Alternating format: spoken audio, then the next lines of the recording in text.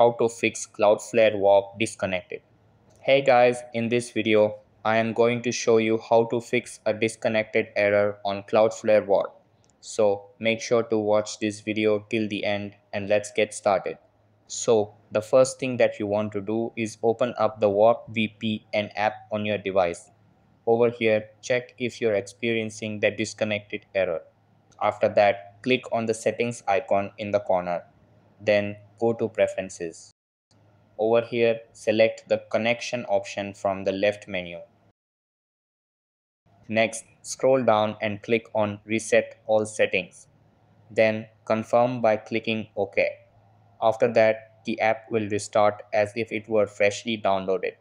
Now, a new message will pop up. Over here, press next and then click accept. The app will reopen and show as disconnected. Then click the connect button and it will change to connecting. Finally, you should see that the issue is resolved and it stays connected without any problems. So that's how you can fix the Cloudflare Warp disconnected error. That's all for this video.